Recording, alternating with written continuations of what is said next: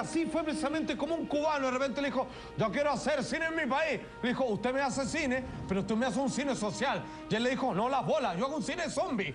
Bueno, la primera película de zombie hecha en La Habana. Pero gran ¿Esto es locación. estreno exclusivo, Salfate? Estreno exclusivo precisamente que tenemos hoy para Así Somos. Cine cubano. No es lo que usted cree, esto no es fresa de chocolate, esto es Juan de los Muertos. Ahí tenemos nuestro protago- protagonista. Un día, como siempre, pescando con su amigo y mira lo que encuentran. Una balsa. Este Claro. es, un, director cubano. Director cubano hecho en Cuba, señor, con el permiso de La Habana, las locaciones son de la famosa isla de Castro. Mira. Oye, en efectos especiales no se queda maquillaje, violencia, un pequeño toque de humor y por ahí crítica social.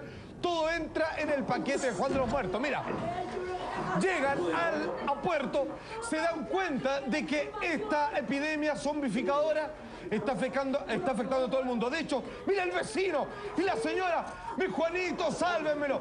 Y ellos como no conocen las leyes zombie, ustedes saben que solamente hay que cortarles la cabeza o, destru- Enterrarle. o destruir el cerebro. No son los vampiros, por tonto. Enterrarle la cuestión en la cabeza. Mira, ahí mataron a la señora que no tenía nada porque son unos inútiles.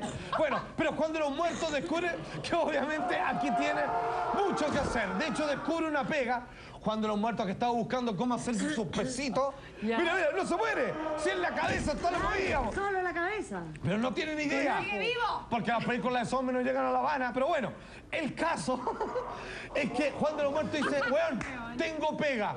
Mira, esto no tiene que ver con la trama principal, pero como la mina está en pelota y está rica, quise agregarlo.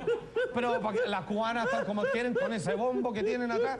Pero bueno, el caso es que Juan de los Muertos decide, aquí acabo de encontrar un pituto.